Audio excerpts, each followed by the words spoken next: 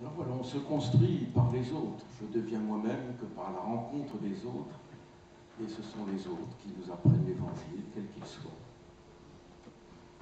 Quelque chose m'a beaucoup marqué, vous voyez, quand on a vu que j'étais en Algérie pendant deux ans, dans la guerre d'Algérie, et j'étais détaché par le préfet sur le plateau de Sétif, peut-être cesse de Parthénien, on ne sait pas trop.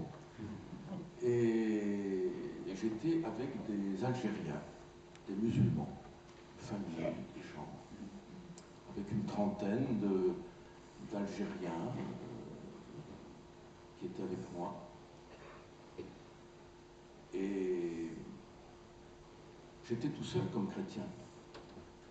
C'est la première fois de ma vie que je vivais sans église, sans communauté, sans sacrement, sans rien. Mais il y avait des musulmans. Et alors je les voyais prier, j'entendais la, muezzin, je, je disais, ils sont quand même bien ces gens-là. Ils étaient fraternels à mon égard, ils auraient pu faire ce qu'ils voulaient, ils m'ont pas tué, au contraire, ils m'ont protégé plus d'une fois.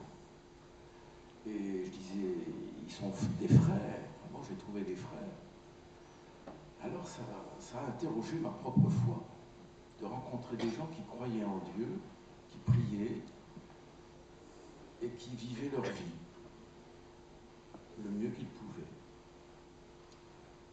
Et, donc, de cet événement, eh j'ai appris à prier avec eux, en les voyant prier, et puis, j'ai toujours eu besoin de, l'islam pour ma foi, et encore aujourd'hui. Je suis invité à la mosquée, encore la semaine dernière, pour intervenir pour la formation permanente d'Algériens, de, musulmans. Rencontre des autres, c'est une source d'enrichissement.